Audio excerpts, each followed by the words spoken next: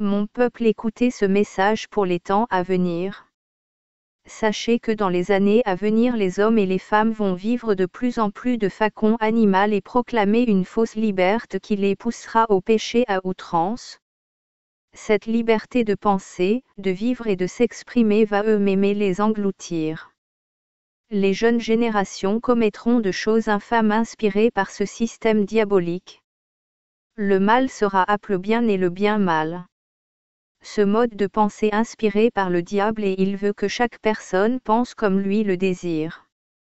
Ceux qui voudront se sanctifier, on se moquera d'eux leur disant qu'ils sont sectaires et religieux. Cet attentat commis en France est la première pierre à l'édifice de la pensée unique qui sera bientôt mondiale. De plus en plus d'attentats seront commis contre l'Occident.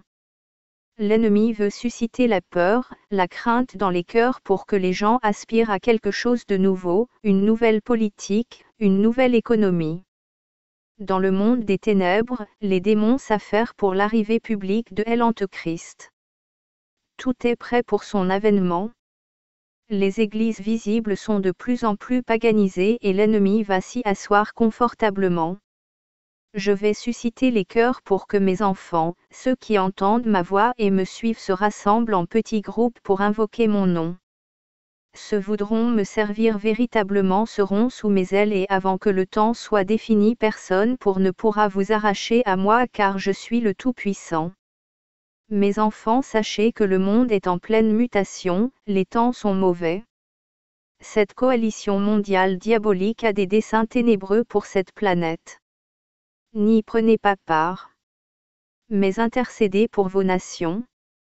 Mes enfants, vous êtes scellés par mon esprit de gloire, craignez pas. Je veille sur vous, tel un père compatissant et rempli d'amour qui veille sur ses enfants. Je reviens bientôt mon peuple. Veillez. Restez dans ma présence. Discernez les temps.